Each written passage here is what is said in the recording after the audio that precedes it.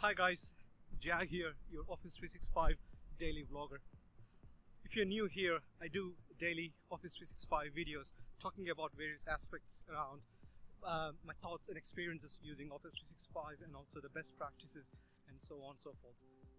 So today, I've been uh, this week we we we've uh, we talk, started talking about Office 365 uh, Microsoft Forms.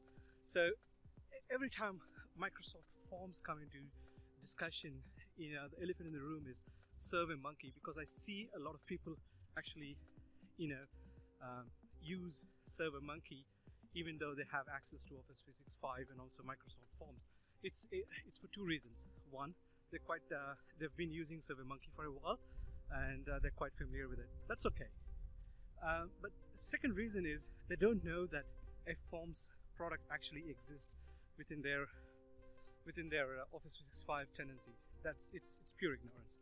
Um, so, if if you wanted to create surveys, forms, uh, feedbacks, and so on, I would I would definitely encourage you to look into Microsoft Forms as such mm, before before uh, you know using SurveyMonkey. The reason why I suggest not to use SurveyMonkey is a lot of people actually use the either the free version or the the non-business version of SurveyMonkey.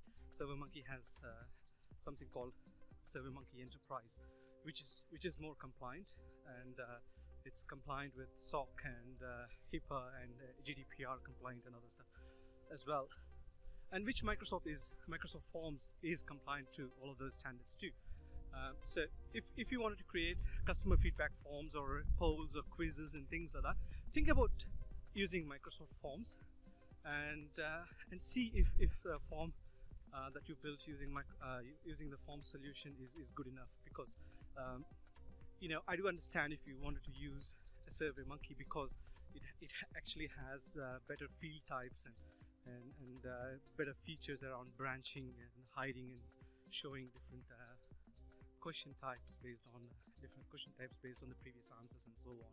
Uh, Microsoft Forms does actually um, ha has some limitations in, in around the, the, capabilities that it has, but uh, Microsoft is actively improving it. I've seen uh, recent changes uh, come to uh, Microsoft Forms. Uh, since Ignite, if it's actually built some intelligence features around, you know, creating question types and things like that there, there you have it. This is a short video talking about SurveyMonkey and Microsoft Forms. It's not a question of which tool to use. It, it's up to you. But just check out Microsoft Forms if you already if you if you already have an Office 365 account.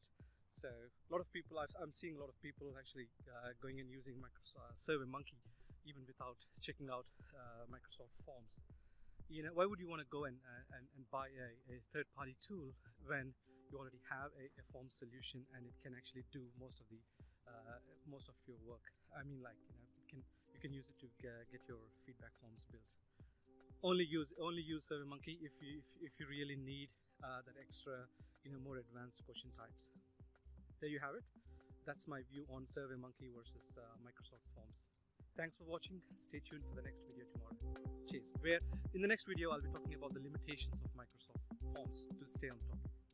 Thank you.